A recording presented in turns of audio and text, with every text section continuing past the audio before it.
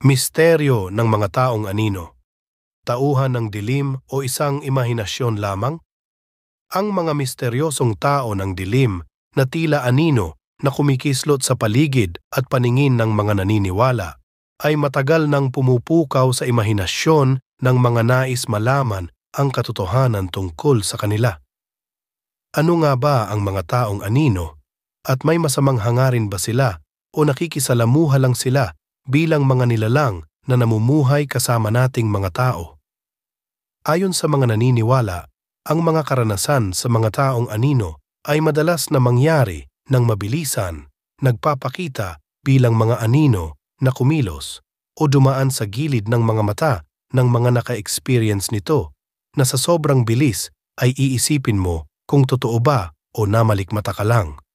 Kahit na patuloy ang kanilang existence at pagpaparamdam sa kasaysayan, ang mga opinyon ng mga investigador ng paranormal ay nananatiling magkakaiba, habang ang ilan ay ang opinyon sa mga entity na ito ay hindi maganda, na may masamang hangarin daw ang mga ito. Ang iba naman ay nagsasabing, marahil ay mababait o mga gabay sila sa atin na sadyang nilikha ng Diyos para tayo ay maiwas sa mga kapahamakan.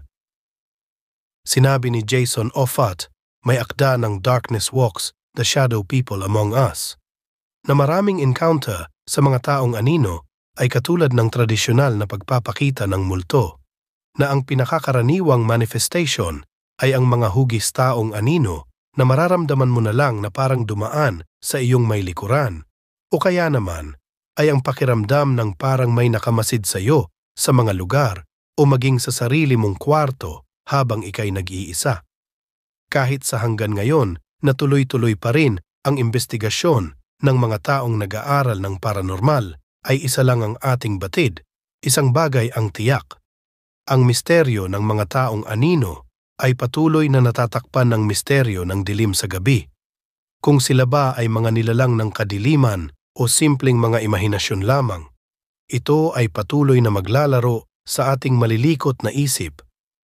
Wala tayong magagawa kung di ang isipin na sila ay hindi totoo o kung sila man ay may basehan, ay sana ay nasa panig sila ng kabutihan.